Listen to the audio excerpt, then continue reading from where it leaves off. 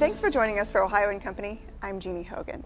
Coming up, it's a year-long birthday bash for Ohio's capital city, and you're invited. See how the city of Columbus plans to celebrate turning 200 years old. Plus, you'll want to listen up as we find out why American Ears audiology services can help improve your quality of living. But first, Ohio's veterans are true heroes, and there's one organization that's making sure those heroes and their families are connected to the programs and benefits they deserve. Joining me from the Ohio Department of Veteran Services is Director Tom Moe. Thank you so much for being here today. It's good to be here. Thank you. Let's talk about the mission of your department. What's the primary mission? It's, it's fairly simple and direct, and that's finding our veterans in the state and connecting them to their benefits. How many veterans are there in the state of Ohio? We have over 820,000, which ranks us sixth in the nation for the size of our veterans population. Quite large. It is. And your services are vital to them. Let's talk about the service services. There are so many, and everybody has different needs. They, they do, and the services vary widely. Um, first, I think it's important to mention that the services are generally delivered at the county level. And I really stress that because so many folks come to us and they say, where, where can I go to look into benefits I might receive? But the benefits uh, vary from medical benefits we have soldiers surviving uh, severe injuries on the battlefield uh, to uh, pension and uh, financial assistance. And one of the most important things that we can offer uh, our veterans are the very generous GI Bill benefits and even jobs. Are you surprised at how many veterans don't come forward for benefits? It's really uh, astounding in many ways, although part of the problem uh, or the challenge, I should say, is communication. Doing what we're doing right now is very helpful in mm -hmm. connecting to our veterans. But there are many veterans who don't uh, think they need benefits, and they say, fine, let's have somebody else receive them, and that's great. But we kind of like them to come forward and let us tell them what they mm-hmm. might uh, have earned or not. Have you been able to change minds? Oh, yes, I mm -hmm. think mm-hmm. so. Uh, we, because we are in the process of actually helping each other when these veterans come forward and uh, especially when we can describe to veterans that the benefits are far more than perhaps uh, taking care of a medical problem that, that many veterans don't have, fortunately. And in addition to aiding veterans, your organization also provides an economic stimulus to the state of Ohio. Can you explain that to us? The economic stimulus is really huge and it's real. The return on dollars spent by Ohio taxpayers, that is Ohio tax money, is on average 100 to 1. Now, the money that comes back to us from Washington, it's our tax money too, sitting in Washington. And uh, last year, uh, for an expenditure of state money of about $52 million, including county money, mm. we received from the VA $5.2 billion wow. going right into our economy. So that's vital to the state. It, it really is. So we're helping our veterans and we're helping our economy as well.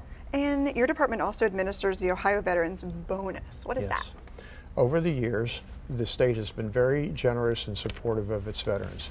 There have been uh, bonuses for past wars. I received a bonus from my participation in the Vietnam War. Mm -hmm. And uh, most recently, the Afghan and uh, Iraqi war veterans qualify for a bonus if they're residents of the state. Whether they served in combat or not is beside the point. And uh, the bonus money, which can be quite generous, uh, is not taxable, either by state or federal taxes. So if the veteran comes to our website, uh, dvs.ohio.gov, uh, they can find a link to the bonus for all the details. You're a veteran and you can relate to these people. How important is that when you're talking to them?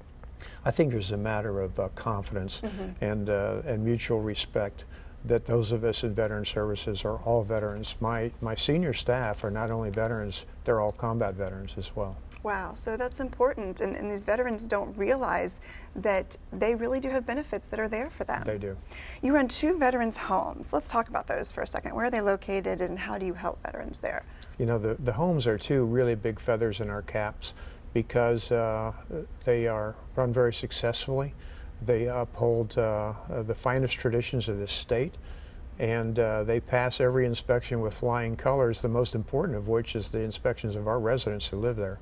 We have one in uh, Sandusky that dates back from the days of the Civil War.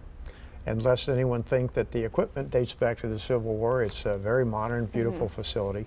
And our newest facility, about 10 years old, is near Cincinnati in Georgetown.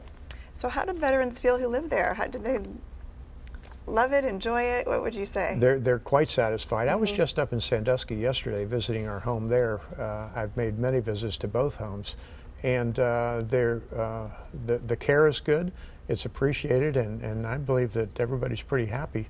Uh, since they're only there because they have to be, uh, since they're there, they're quite pleased with the service. Let's talk about how you help veterans get jobs after their tour of duty. This is so critical because, uh, for a number of reasons, uh, unemployment among veterans is above the national average. Uh, there might be a couple, uh, certainly several reasons for that. One of which uh, that we have to work with the employers is that uh, with our current volunteer force, we have people serving on active duty, coming back to reserve or guard status, serving again. My own chief counsel is on active duty in Afghanistan. So uh, that is one of the main reasons that employers might be hesitant to hire a veteran, and we want to encourage them to put that aside. These are these are well-trained, disciplined people.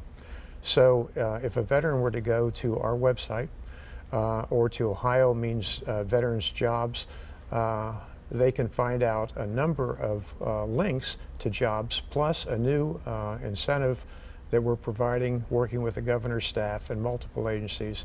We want to link veterans directly to jobs. It's so important to know that you're here to help.